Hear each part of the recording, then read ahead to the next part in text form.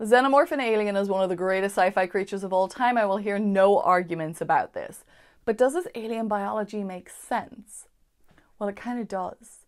Now, before we get into this, there's now a very detailed lore around this creature, but I am only interested in what we learned from the first movie, from the original. Now, in this movie, we don't get a huge amount of information, but we do know a few things. It has a multi stage life cycle, it has acidic blood, and it has an exoskeleton of polarized silicon. We are talking about a silicon based life form with acidic blood that procreates like a parasite. The life cycle itself, perfectly plausible. The egg hatches into a facehugger, which implants an embryo into a host body that grows into a chestburster. This then emerges, to put it kindly, and grows into an adult xenomorph.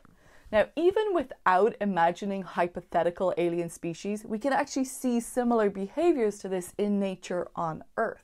Parasitoid wasps lay eggs on the surface of their host, and the larvae then grow by feeding on the host. Hair worms. Oh, this is so upsetting. These guys grow inside insects and manipulate the host's behavior, compelling them to jump in water where the adult worm then emerges from the host. And guys, even fungi, yes, we're talking about The Last of Us. Cordyceps fungi infect insects, eventually taking over their bodies and altering their behavior for the fungi's benefit. The fungus grows inside the host until it erupts and releases its spores. Now, if you want to know more about this one, I have a much longer video on The Last of Us, so go check that out.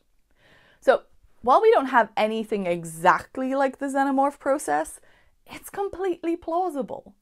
So let's talk silicon with acidic blood, because this definitely requires an entirely different environment than Earth.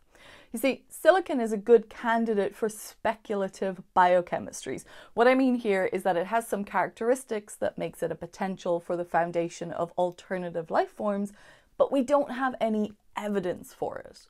You see, we're carbon based life forms. Now, silicon is directly below carbon on the periodic table, so it has similar electron configurations. This means that it can form bonds with other elements in similar ways to carbon, making it versatile.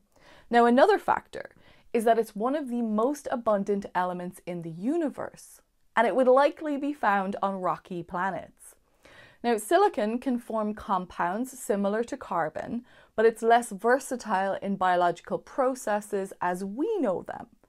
Now, it is plausible, though, that in a high temperature or high pressure environment, silicon based chemistry could create life as we don't know it. Now, crucially, if silicon based life could evolve, it would not use water. Now, water is the critical solvent for life on Earth, but silicon based molecules are not soluble in water. Now, this solubility is needed for transport and reactivity of molecules in living organisms. But interestingly, this brings us to acidic blood. You see, life on Earth depends on water, which is fairly neutral. So internally, we have blood with a neutral to slightly alkaline pH level. There is no life on Earth with a pH level less than 7, which would be acidic.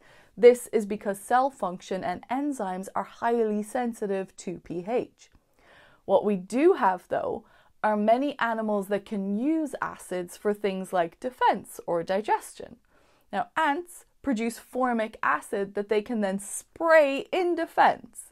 Bombardier beetles eject a hot, noxious chemical spray from the tip of their abdomen that then produces a boiling acidic liquid projected towards attackers.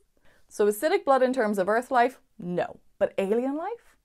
Well, the pH of an organism's bodily fluids depends on biochemistry, which is influenced by its environment as well as the requirements for its metabolic processes. So, if an alien developed in an environment with a different chemistry to us, for example, with high levels of sulfuric acid, like the clouds of Venus, it's way too freaking close to home for me, guys. But in an environment like this, a life could favor a more acidic pH level.